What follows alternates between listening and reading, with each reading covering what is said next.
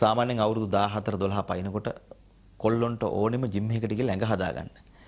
ඇඟ පුම්බ ගත්තාම හිතන්නේ ඔක්කොම හරි කියලා. හැබැයි ඇඟ හදාගත්ත හැම එකෙක්ම ඔළුව හදාගත්තද කියන එක ප්‍රශ්නයක්.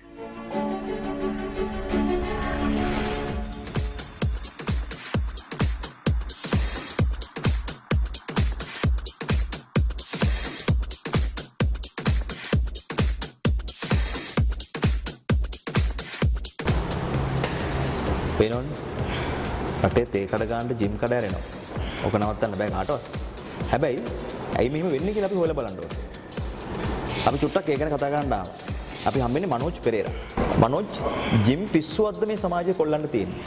පිස්සුව මම මම පිළිගන්නේ නැහැ පිස්සුවක් කියලා. මොකද මේ ජිම් පිස්සුව කියන එක ඕක නිකන් මේ ඒක හරි නැති කතාවක් නේ. ජිම් එකක් කියන්නේ සමාජයට හොඳ පුරවැසියක් මුදාහරින්න හොඳ තෝතැන්නක් මම දකින විදිහට. හරියට අර පොඩි ළමයෙක් මොන්ටිසෝරියට යවන්න අනිවාර්යයි වගේ මම නම් දකින්නේ ජිම් එකක් කියන තැනකට යන්න ඕනේ ළමයෙක් හොඳ පුරවැසියෙක් සමාජයට එළියට එන්න. මනෝජ් මොන කතන්දර කිව්වත් මේක පිස්සුවක්. අපි කියන්නේ මේක පිස්සුවක්. කොල්ලෝ ඉස්කෝලේ යන්නේ ජිම් එකට යනවා. පන්ති යන්නේ ජිම් එකට යනවා. ඇටෙන් පොත්තෙන් බේරනකොටම ජිම් එකට යනවා. ඉස්කෝලේ ගියත් මේ බයිසෙප්ස් පෙන්න පෙන්න ඉන්නවා මිසක් පන්තියට ගියත් මෙහෙම මෙහෙම කර කර ඉන්නවා මිසක් ඉගෙන ගන්න උනන්දුවක් නැහැ. දැන් මේක පිස්සුවක් නෙමෙයිද? මේ හරි ගැටලුවක් නෙමේක. සමාජයට මේක මහා ගැටලුවක්. හරි ඔයා කියනව නම් පිස්සුවක් කියලා අපි මේ පිස්සුව කියන වචනේ තියාගමු. නමුත් ඒකට අපි හොඳ නිර්වචනයක් දෙමු. මොකද පිස්සුව කියන එක මම අනුමත කරන්නේ ඔය පිස්සුව ඔය අපේ ඔය ඔයා කියන ඉස්කෝලේ ගිහිල්ලත් බයිසෙප් එක බලන පුම්බගෙන යන පපුව උස්සගෙන යනවා කියන එක මම දකින්නේ හරි හොඳ දෙයක් හැටියට. මොකද ඒ ළමයිම වැරදි දේවල් වලට සමාජයේ යොමු වෙනවට වඩා ජිම් එක කියන තැනට යොමු වෙලා එතනට ඇඩික්ට් වෙන එක නේද හොඳ. එහෙම වුණා නම් එතකොට අර සමාජයේ ගොඩාක් සිද්ධ වෙන වැරදි ක්‍රියාවල් ඔක්කොම නැති වෙනව නේද? මොකද ජිම් එකකින් ළමයෙක්ගේ ඔළුවත් එක්කනේ හදන්නේ. ඇඟ විතරක් හදන්නේ නෑ අපි. දැන් මනෝජ් ඔන්න උතන තමයි තියෙන ගැටලුව. ඔබ කිව්වා ඇඟ හදාගත්තට ජිම් එකෙන් මොලෙත් හදලා දෙනවා කියලා. අපි පිළිගන්නේ නැහැ ඒක. ඇඟ හදාගත්තට කට්ටිය ඇත්තටම මොලේ හදාගත්තාද? ඇඟ පුම්බගෙන පාර යනවා. ඇඟ පුම්බගෙන ගෙදර ඉන්නවා. ඇඟ පුම්බගෙන ඉස්කෝලේ යනවා, පන්ති යනවා. හැබැයි මේ එකෙක්ගේවත් මොලේ හැදුන්නේ නැහැ. ඒකයි මගේ නිර්වචනය. ඔබ ඒක පිළිගන්නවද?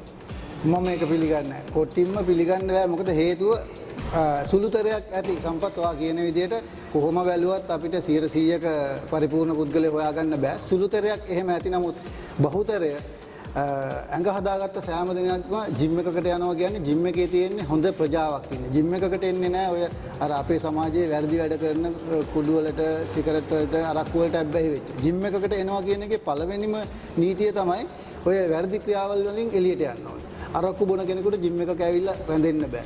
සිගරට් බොනවා නම් ඒක කරන්න බෑ. කුඩු බොනවා නම් ඒව කරන්න බෑ. ඇයි ඔබ එහෙම කියන්නේ ඔබ පුහුණු කරුවෙක් නිසා. හැබැයි ලංකාවේ තව ජිම් කීයක් තියෙනවද? ජිම් දහස් ගණක් තියෙනවා. ඔය හැමතැනකම ඔබ කියන කතාව සිද්ධ වෙන්නේ සමහර විට වෙන්නේ නැති. මොකද අන්න එතනදි තමයි අර පුහුණු වලත් දැනුම තියෙන පුහුණුකරුවෝ ඉන්න ඕනේ කියන තැනට මම එන්නේ. එතන එහෙම කෙනෙක් යටතේ කවුරු හරි පුහුණු වෙනවා නම් අන්න එතනදී ඒ ළමයාගේ අනිවාර්යයෙන්ම පුහුණුකරුවාගේ පළවෙනි රාජකාරිය තමයි දරුවාගේ ඇඟත් සමගම මනස හදන එක.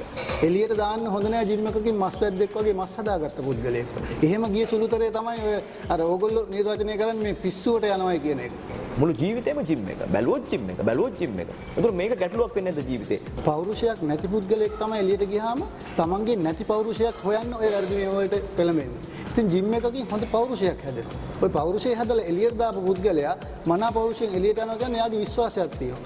සෙල්ෆ් කොන්ෆිඩන්ස් කියන එක හොඳට මෙනවා. ඒක ඔබේ පැත්තෙන් සාධාරණ වෙන්න පුළුවන්. මගේ පැත්තෙන් මට තවත් ප්‍රශ්න තියෙනවා. මේ බොඩි බිල්ඩර්ස්ලාගේ ෆොටෝ ටිකක් ජිම් එකේ ගහගෙන ඕගොල්ලෝ යම් කිසි පණිවිඩයක් සමාජයට දැම්මා. මේක දැකපු නොදරුවෝ කොල්ලෝ මේකට වසී වුණා. දැන් මේක සමාජයේ හැදුනා ප්‍රවණතාවයක් ට්‍රෙන්ඩ් එකක් හැදුනා. දැන් ඕගොල්ලෝ කරන බිස්නස් එකක්. ඇත්ත. අපි කරන්නේ ව්‍යාපාරයක්. අපි මෙතනින් සේවයක් සපයලා කීයක් හරි හොයාගන්නවා ඒකෙන් තමයි අපි යපෙන්නේ. ඒක හරි. එතකොට අපි පාසල් දරුවන්ට අධ්‍යාපනය ලබා දෙන එක බිස්නස් එකක් නෙමේද? මනෝජ් ඔය ජිම් යන බොහෝ දෙනෙක් පාවිච්චි කරනවා සප්ලිමන්ට්. ඒ කියන්නේ අමතර ශරීරගත කරන දේවල් ආහාර වෙන්න පුළුවන්, ඖෂධ වෙන්න පුළුවන්. දැන් සමාජයේ මතයක් තියෙනවා මේවා පාවිච්චි කිරීම තුළ විවිධ අනාගත ප්‍රශ්න මතුවෙනවායි කියලා. සමාජයේ අපි ශරීරගත කළ යුතු නැති පෝෂණ අතිරේක තියෙනවා. මාකට් එකේ තියෙනවා. හරි සප්ලිමන්ටේෂන් එකකට ගිහිල්ලා හරි ආහාර රටාවකට ගිහිල්ලා හරි ව්‍යායාම පද්ධතියක් කරගෙන ඇඟ හදාගන්න කියන එක පුහුණුකරුවෝ හැටියට අපිට රාජකාරියක් තියෙනවා මාධ්‍යවේදී හැටියට ඔයගොල්ලන්ගේත් රාජකාරියක් තියෙනවා ඒක තමයි කල්පනාවෙන් හැමදේම දැනගෙන කරොත් වැඩේ හරි වුණා වැඩේ වර්ධින්නේ නැහැ. thank you Manoj. දෙනපතා අලුත් වීඩියෝ සහ ප්‍රවෘත්ති නැරඹීමට ඉහත බටන එක කලික් කර සියත TV සබස්ක්‍රයිබ් කරන්න. අලුත් වීඩියෝ ගැන මුලින්ම දැනගන්න මෙම සීනුව කලික් කරන්න.